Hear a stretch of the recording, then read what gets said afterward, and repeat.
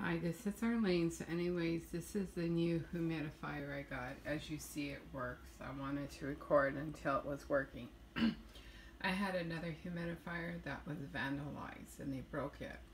And if you've watched my other videos, I've done a few on YouTube, but mostly on Periscope, recording me sleeping, you'll see where there's periods of time where I don't breathe. So anyways, um, because of all the targeting to my lungs, my doctor has told me she thinks, well, she says I'm probably borderline asthmatic, but I don't believe it, but I just go with the program. And um, I don't take the prescriptions they give me.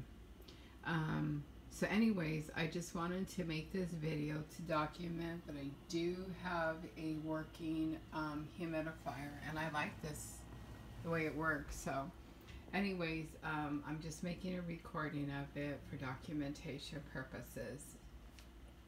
Bye.